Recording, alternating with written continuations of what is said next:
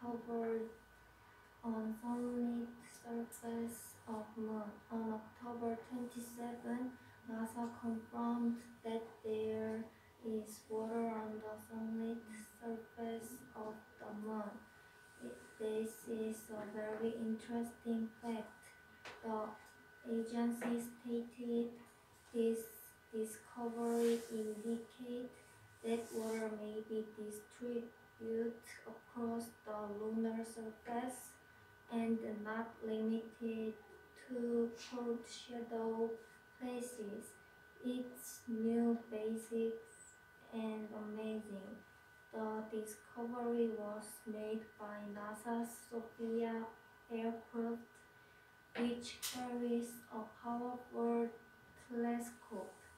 It detected water molecule in one of the moon's largest craters that can be seen from Earth. I wonder if there's another molecule of water in the crater. The amount is equivalent to a 12 ounce bottle of water. There's really little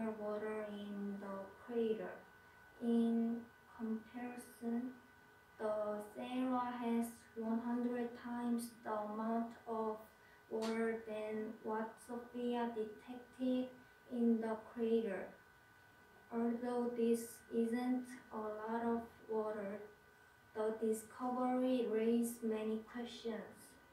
Casey Honniball, a researcher at NASA, said without the thick atmosphere, water on the sunlit alone surface should just be lost to space. Yet somehow we're seeing it.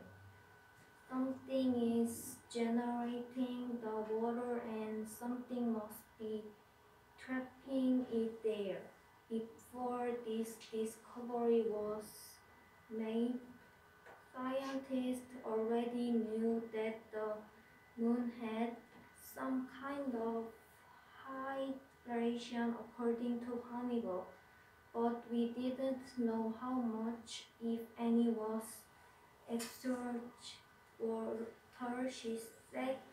NASA will continue to use SOFIA to learn more about how water is produced, stored, and moved across the moon. I knew there was a crater on the moon, but it was beneficial because I didn't know there was water in the crater. I think quite of people don't know about this, so I want to let you know.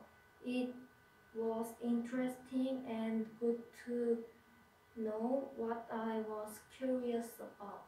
Thank you for listening.